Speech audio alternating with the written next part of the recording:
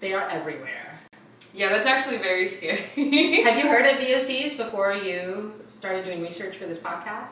no, never heard of them at all. No, I didn't No know it was idea? a thing. I didn't know it was a thing at all. And then yeah, you told me you said we were doing VOCs. I was like, I don't know what that is. I knew kind of the basic idea, like it came from paint and lead, like not like Oh, floor, okay. laminate floors, Yeah, yeah, yeah. uh, gasoline, you know. Mhm. It's like, um, you know why they say don't have paint. Yeah, yeah, just like sitting around at. at Yeah, home. yeah, but also don't huff it. Don't like. Oh, don't smell Don't it. well, you're not supposed to be like at, at your house whenever they like freshly Yeah, paint walls, right? Hypothetically, You're not you're, not really supposed to. Yeah, Okay. but yeah, don't do whippets. Those are VOCs. I didn't know that either. yes, I I once walked up to the dam and saw people doing whippets on the dam.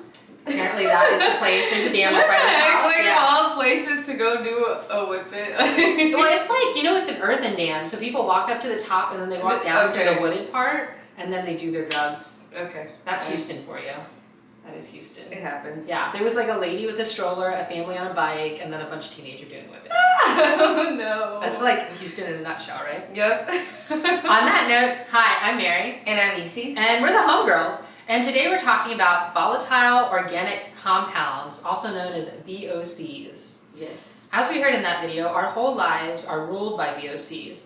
They are basically all over our home. We're inhaling them every second of every day, which I don't know how that makes you feel, but I don't know if I like Sounds it. a little scary. Yeah, a little scary, yeah. They come from our paint, our laminate floors, our hair products, candles, air fresheners, and just about like everything. Cleaning products, everything we use in our modern home Oh my are god. emitting VOCs, yeah. So even worse, VOCs are highly emitted from our cars Of course. and as a result of oil and gas production, which in Houston, we inhale a lot of VOCs from oil and gas. Did you see the sunset last night, how it was purple?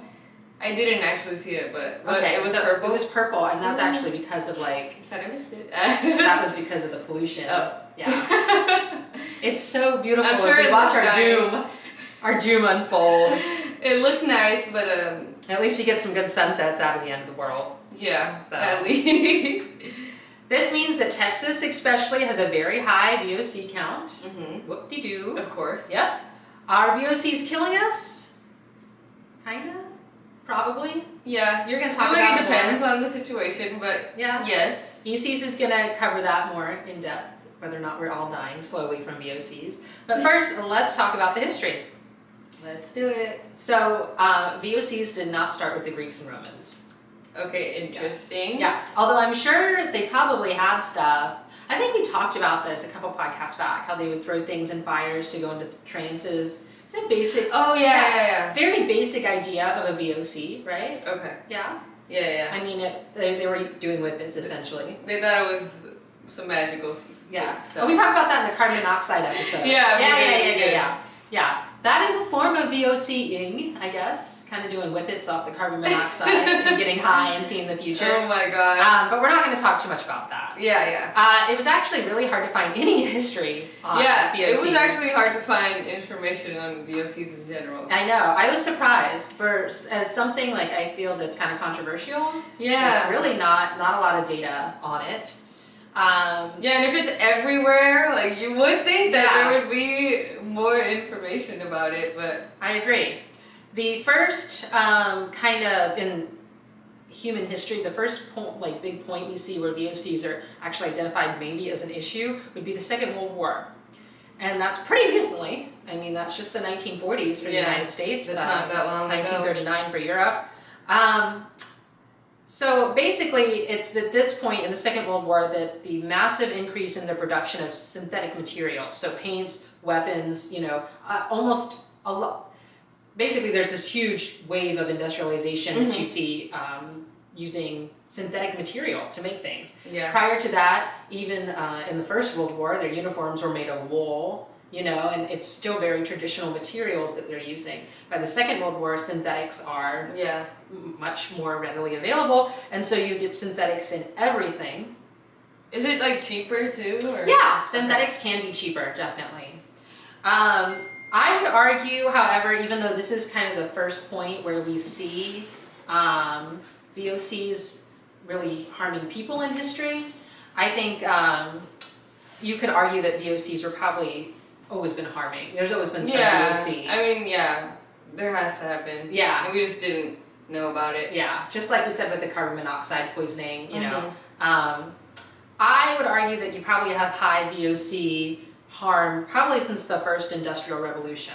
So starting in the 1760s. This is my uh, very basic academic, you know, analysis of VOCs. My guess is you actually would probably start to see um, VOC-related illnesses in the industrial revolution. I mean, it makes sense. That's when they're pumping large amounts of pollution Exactly. into the air. So, um, now, as far as regulation, the first regulation I could find in, uh, for VOCs started in California, which makes sense. In the late 1970s, uh, California starts regulating VOCs from paint, and um, this led to the 1990s when the U.S. government actually started to limit harmful emissions, such as smog and other compounds like um, freon that are relating to the ozone depletion through the Clean Air Act. Remember when the hole in the ozone layer was our only problem?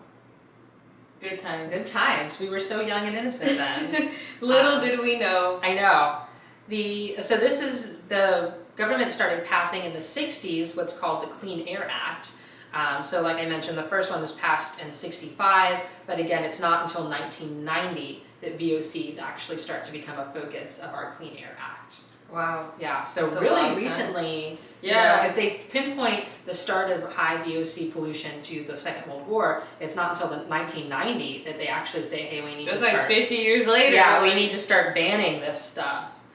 Um, basically, the uh, argument with the Clean Air Act said that they're not VOCs aren't inherently hazardous, but they're a source of concern because they serve as a precursor to the formation of damaging ground ozone layers. So we know now that VOCs are definitely hazardous, and they are also definitely contributing to climate change. Which, if you heard the latest climate change report, we are all going to die. Did you hear that? No. well, it's better that you don't Google that because it's actually really, really bad news. Is it really? Yeah, apparently, um, 2030 is going to be a turning point that we that none of us are really going to want to see. So That's I know. That Well, sounds nine years from now. that sounds horrifying. It is. It is horrifying. Okay. So, um, on a happier note, I guess, uh, let's talk more about what happened in 1990, that Clean Air Act. Yes. It was, this is funny, in the ni- early 90s, they were really worried about acid rain. Now, I know my science textbooks when I was like in elementary school and middle school were all about how acid rain was the biggest enemy. Did you have that? I think so. I think I remember reading about that in textbooks. Yeah, it's like, why were Textbooks, you so worried about scam. No. Yeah, why were you so worried acid rain? Yeah. But in the 1990s, when they finally decided that VOCs are the issue, they're contributing to climate change, they really focused in on acid rain. That was supposed to be our big problem in the future. So innocent. We were so innocent back then. Where is it? Where is the acid rain? Where is the? I'd rather have the acid rain at this point. Um, so basically, the focus of that VOC Clean Air Act was designed to reduce acid rain and improve public health by dramatically reducing emissions of sulfur dioxide and nitrogen oxides, various nitrogen oxides. And it used a market-based cap and trade approach where the program set a permanent cap on the total amount of sulfur dioxide that could be emitted by electric power plants nationwide. This Clean Air Act did not specifically control uh, the technology, so it didn't say what technology you had to use, you just had to control the toxic air that was coming out. Um, basically encouraging factories and oil and gas companies to create their own technology to um, get rid of acid rain. It's hard for me to say all this without laughing. Like, Yeah. really? That you thought this was going to be our problem? Um, right. Uh, so there is a footnote to EPA regulations. It is the um, more modern regulation is at the federal level. It's called the 40 CFR 59, which is the National Volatile Organic Compound Emission Standards for consumer and commercial products. So in the modern day, if you want to look out, uh, look at, excuse me, what you want, what VOC emissions should be for various products, you're going to go to the 40 CFR 59, which again is the National Volatile Organic Compound Emission Standards for consumer and commercial products. However, Wow. outside of that Clean Air Act, there really are no other VOC emissions, and they still allow these items to go on sale. Of course they do. Yeah, capitalism. So there's no real regulations outside of that Clean Air Air Act, meaning that you know we know our air fresheners are poisoning us, but you can still buy them. Yeah. You know, hair products. every- Jesus. Yeah, certain makeups, perfumes, Makeup. baby powders. My whole um, life is a lie. Yeah, I know. Uh, it gets pretty dark pretty fast. Do you do a whole list of? I didn't. I thought you would do that. Okay, So. I, I'll look it up. I'll Okay, try to okay. get the um, the whole list of what admits a VOC. Okay. Okay. Okay. Um, but yeah, like I talked a little bit about like where do they come from, but I didn't go into like super specifics about it. But yeah. So Yeah. basically, we're all going to die. yeah. Do you ever watch Sweeney Todd? Yes, I have. You know that song "We All Deserve to Die" when he pushes her in the oven at the end. That movie's crazy. The movie. Well, the play is the stage play is way better than the movie. Yeah, I'm but, sure it is. Uh, yeah, that's what I think of when um, I, I read stuff like this. Like we all deserve to die for what we did, Yep. for the acid rain that we Mhm. caused. That's gonna kill us. So. All right. Um, I'm sure you have plenty of good news, so I'm gonna hand it over to you. All right, so I'll be talking about um, how VOCs can affect our health, which um, Is not good. it's not good. it's not good. It's bad, but they're um, you know, I'll go into it. I'll go into it. So, what are VOCs? We talked about it. We talked about it a little. Um, VOCs are gases that are given off by many indoor sources.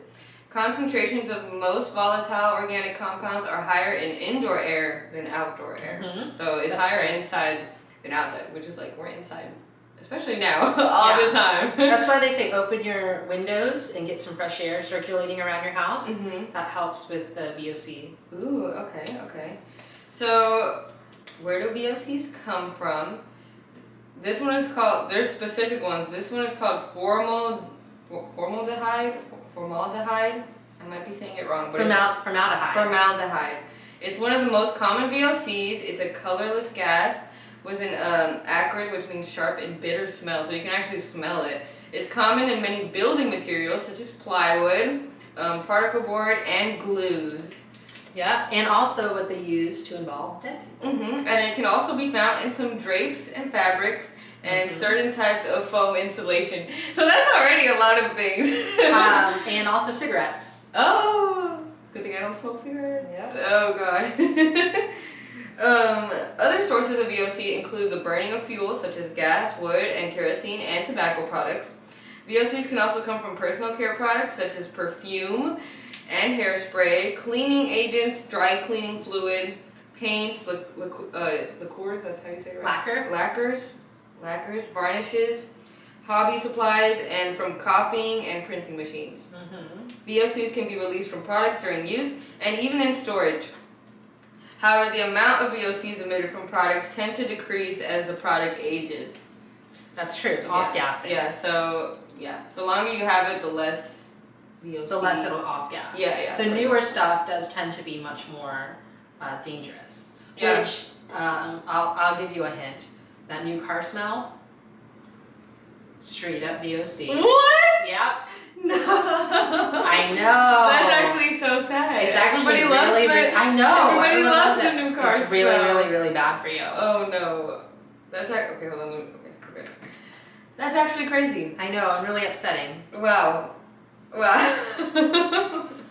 I'm sad. Yeah. Um, that, okay. So it's actually I like that example though because it shows you that it's not going to be a bad smell, hmm right? Yeah, that's true. VOCs are sneaky like that. Yeah, yeah.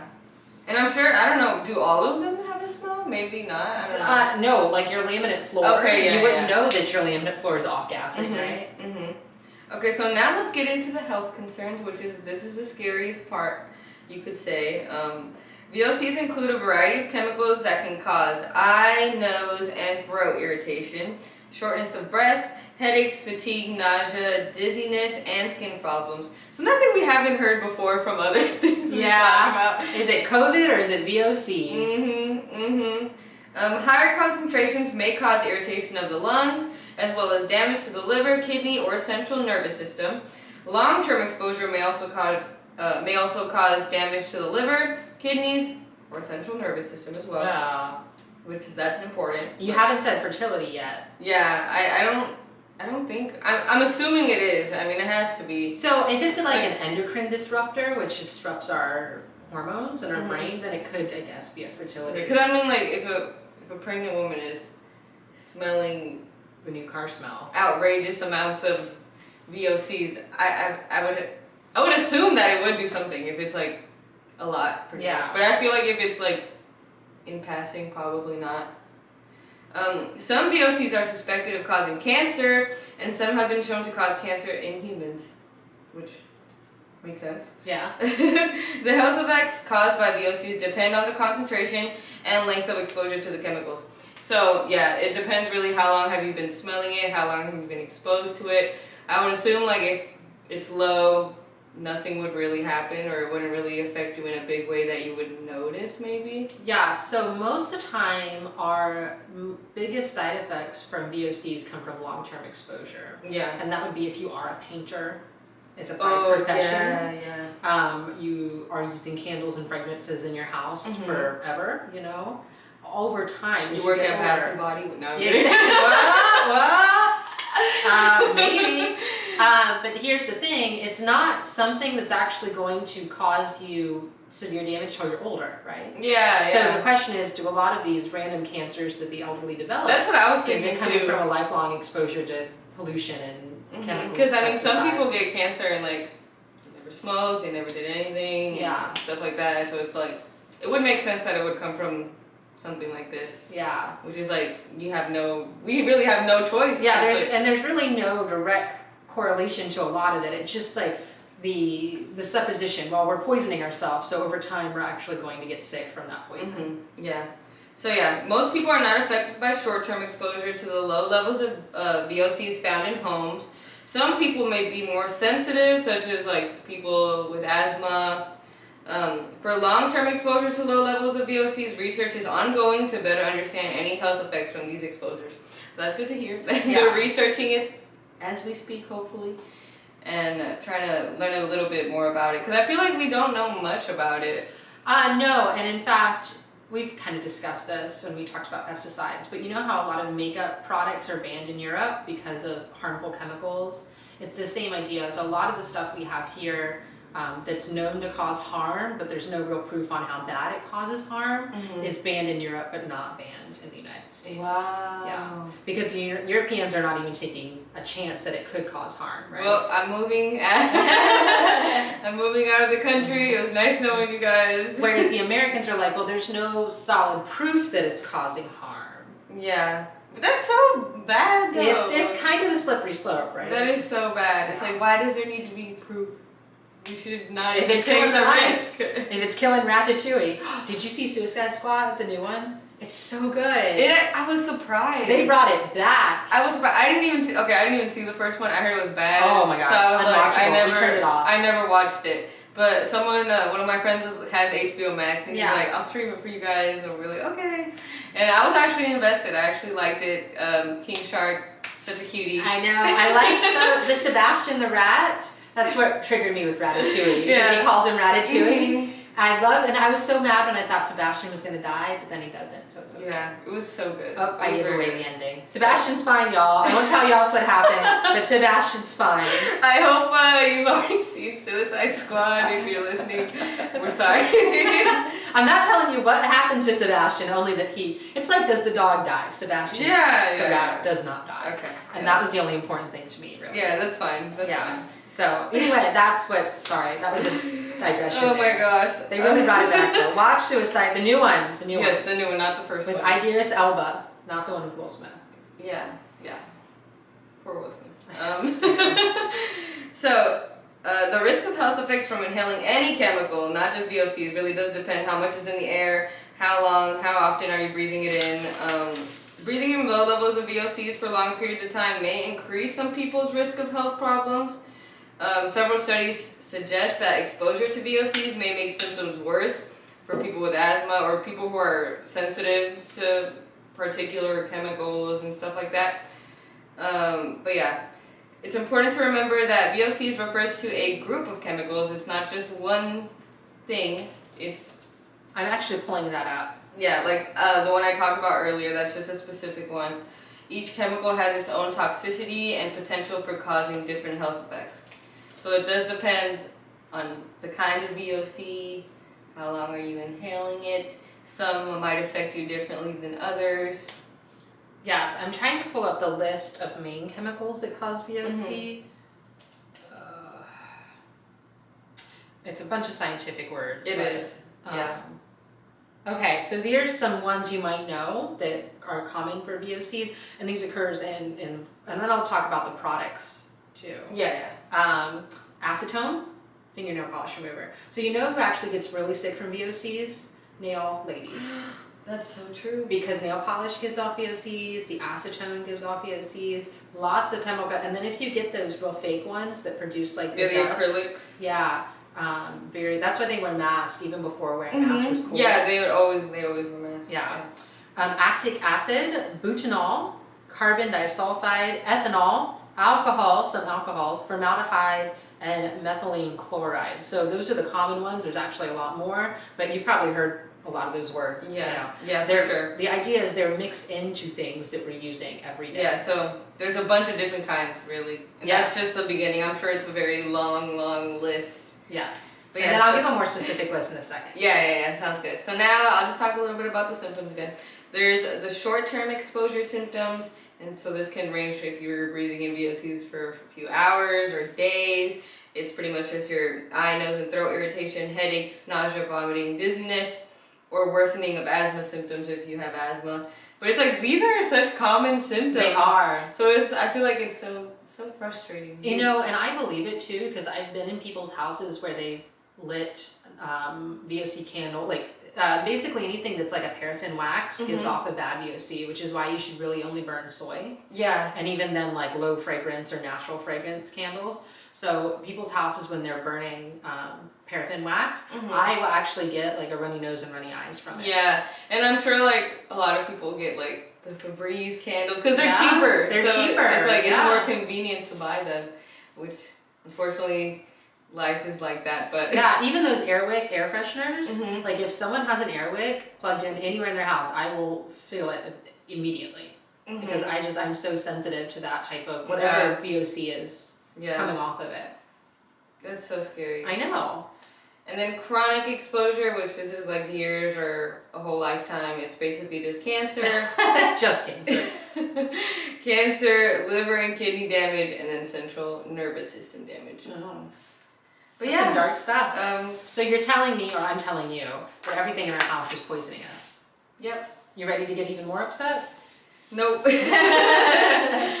Here's a much more comprehensive list. Certain perfumes and makeups that emit smell, perfumes especially. So when you're buying perfume, you really, even designer perfumes can have VOCs in them. How dare they? I know. So you need to be really, really picky when choosing a natural fragrance, which is why a lot of women use essential oils.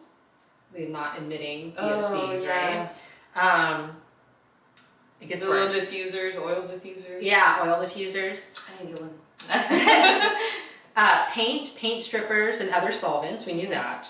Wood preservatives, you said lacquer. Mhm. Uh, aerosol sprays. So let's think of that. Certain hairsprays, dry shampoos. Dry shampoo.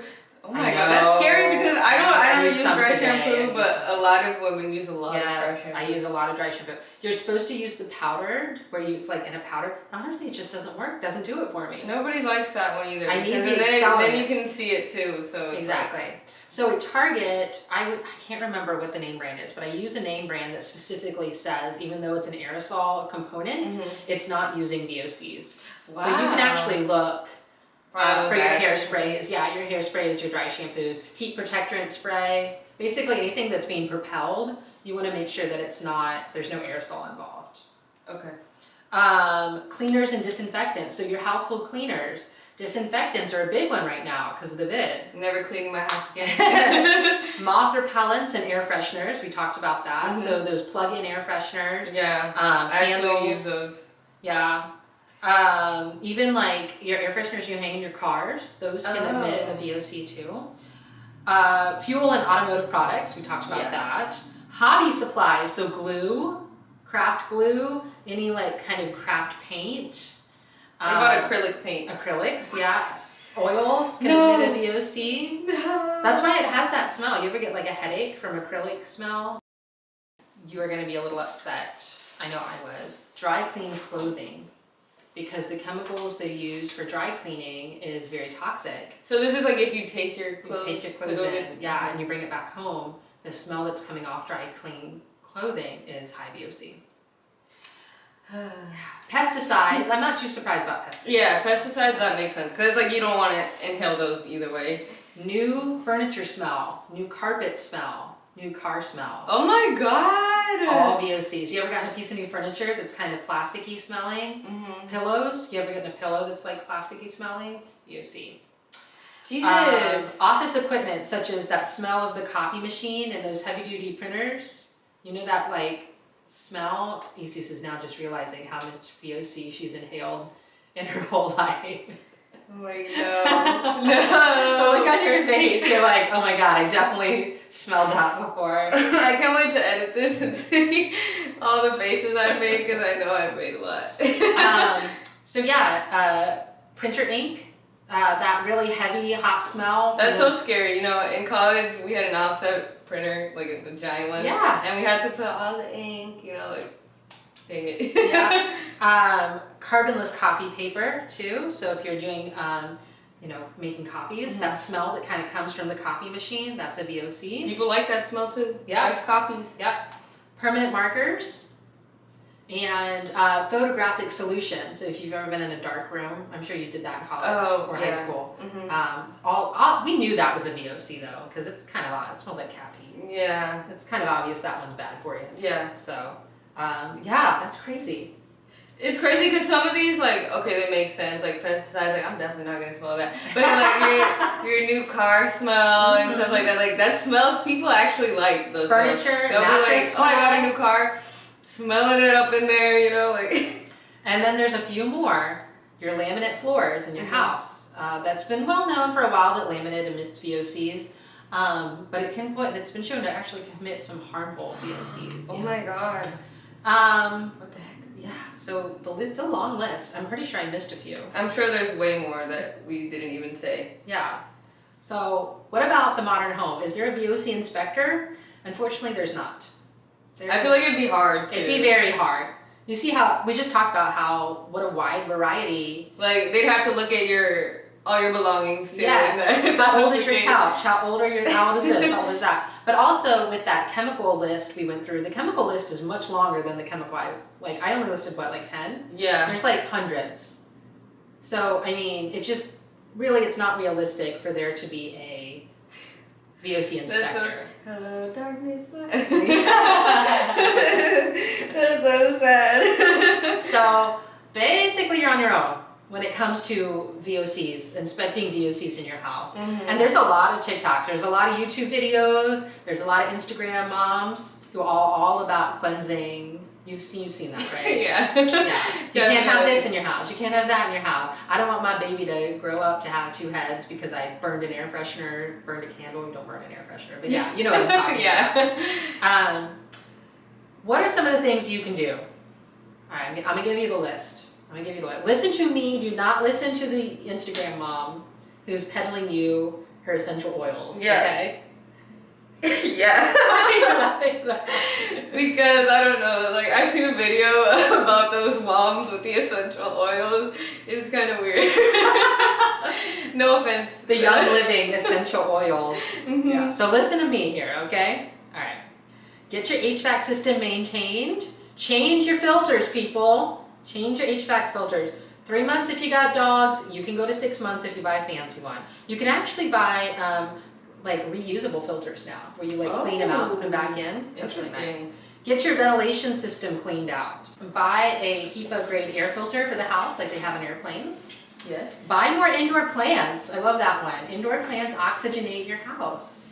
If only I could keep them alive. Yeah, if you can keep them alive. Open the windows on good air quality days. So don't open the windows on bad air Check your weather app. It Yes, tells you. it will tell It you. tells you if it's a bad uh, quality air day or whatever. Never allow anyone to smoke cigarettes in or around your house. Formaldehyde, people. Uh, clean your new clothes before wearing them. That's a big one. If you get it online or even just from the store, Mhm. it's admitting VOCs from the packaging. Wow. Or even if they washed it. Dang it! I'm like sometimes I just like buy it. I'm like so excited to wear it. Don't use synthetic air fresheners or candles. Don't use synthetic perfume. If you're painting or doing any construction, make sure the area is well ventilated and that you have your ductwork cleaned out. Okay. We talked about that. Make sure the paint that you're using is low VOC. And I, quick disclaimer, I am like 90% sure all paint they sell is low VOC now. I That's don't good. think they can sell high VOC That's good. anymore. Yeah, I think all of the paint is low VOC. If you get new carpets or floors, ask about off-gassing. So you know, so you're ready, so you can get proper ventilation. And that's it. I mean, Wow. that was just, that was rough. That was rough. That is definitely another scary one. I feel like we kind of like started off scary, calmed down a little bit, and then got a little bit scary again. But it's a roller Um, coaster. But you know, it's also like kind of a brief topic. Like there's just Yeah. not much to say about it, right? Yeah, there's not much information about it. I feel like it's something that's still being researched to this day. so- or even just not enough people know about it to care. Yeah, that too. Because I had no idea that was even a thing. So yeah, it's kind of a brief topic. There's not tons to say on it. Yeah, Um, but yeah, I think it's so important for everyone to know about it. yeah, I agree. Definitely something that should be talked about more, or at least people should be more aware. of. Yeah. And that note, is it time for credits? It's time for credits. Music credit is Kevin MacLeod of Incompetech. Source credit is the U.S. federal uh, law regulations on VOCs.